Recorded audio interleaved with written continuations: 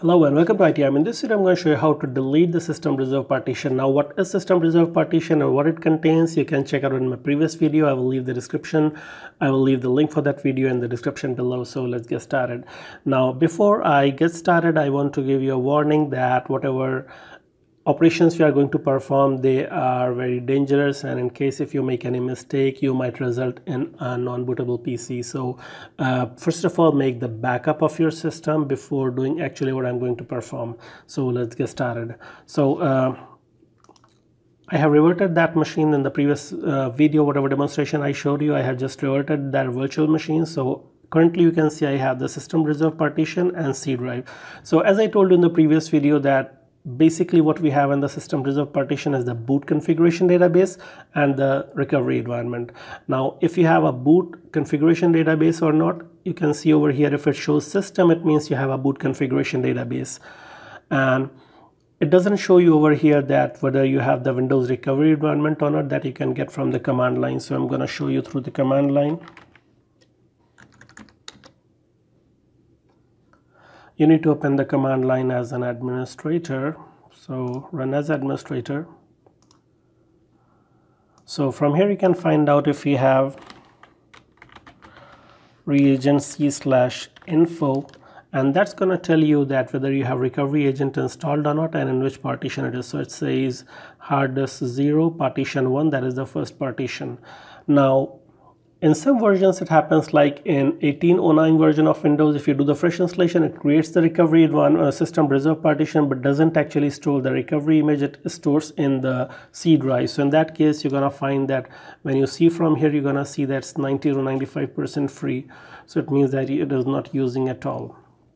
So now if you want to delete this partition I can first of all delete the recovery environment. I can first of all disable recovery environment and then boot into a PC because currently if I try to right click and you're gonna see that we have delete option is disabled as we are currently running I will not be able to delete this partition.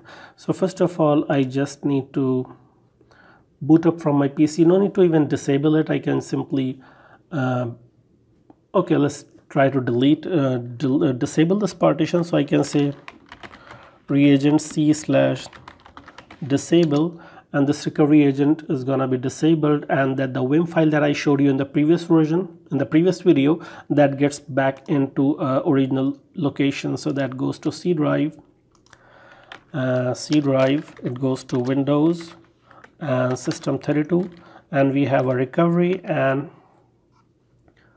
I disabled it. Yeah it's hidden file actually so you can not see over here. You need to view the system files. You need to enable viewing system files and that file got moved over here. So now you can see that if I close this and reopen the disk management and now it's showing that this system reserve partition is 94% free. So now what we have left in this recovery partition is the is the boot configuration database. Now boot configuration database is the database that is required for booting up your pc if that is not there you won't be able to boot it so we will be booting off from the flash drive or a dvd or uh, any other installation media and then we will be able to delete that partition and then we will be creating the boot configuration database onto the c drive so let's power off this machine. Uh, let's restart, shut down and restart.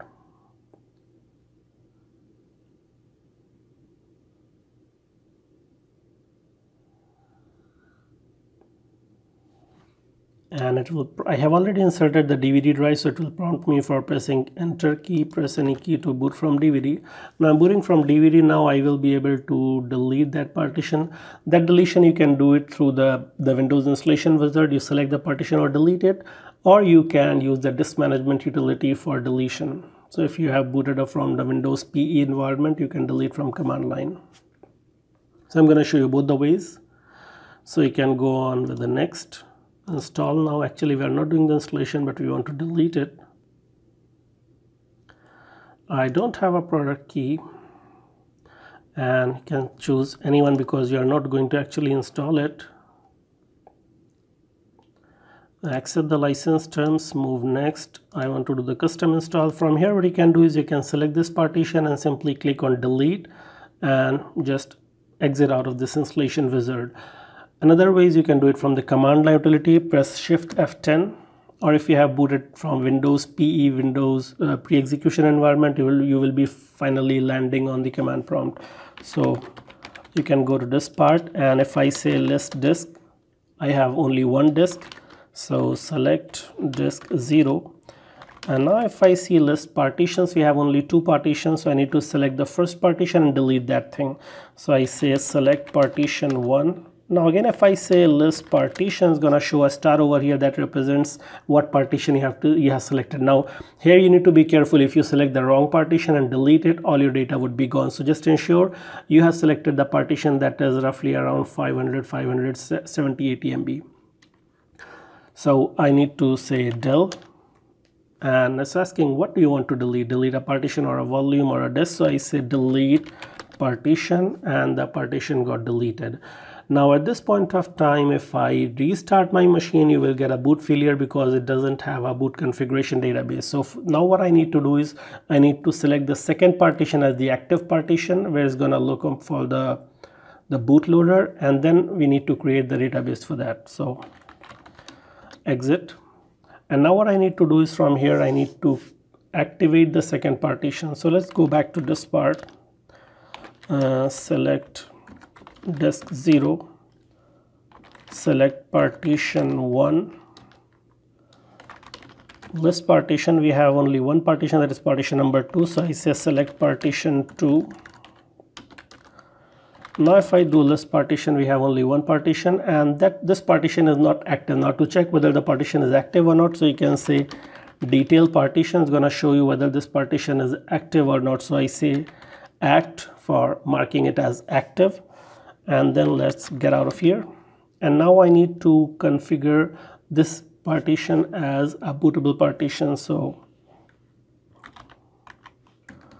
uh, let's see where I have um, the Windows operating system installed. So if I do dir so it's gonna show you that in D drive I have actually the Windows operating system installed. So if I do bcdboot d colon backslash windows and boot configuration database successfully created and if I do dir slash ah for hidden files now I can see it has created this boot. We have boot manager file and inside this boot directory we have the boot configuration database. So now if I restart you should be able to restart successfully so here you would have deleted that partition but other, other activating the the C drive and then creating the boot configuration database? You will have to do it from the command line. So click yes and I want to restart. Uh,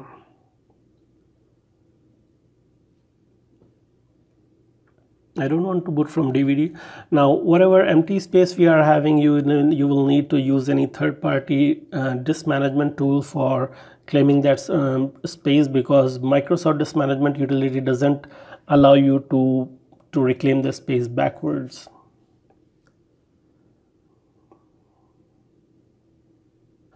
So it's booting successfully. I just need to go to disk management to show you that that partition actually got deleted. So let's move on to right click and go to disk management. And from there you can see this is all unallocated space. Now I cannot extend it. You need to use some third party utility for stretching it and use the entire partition.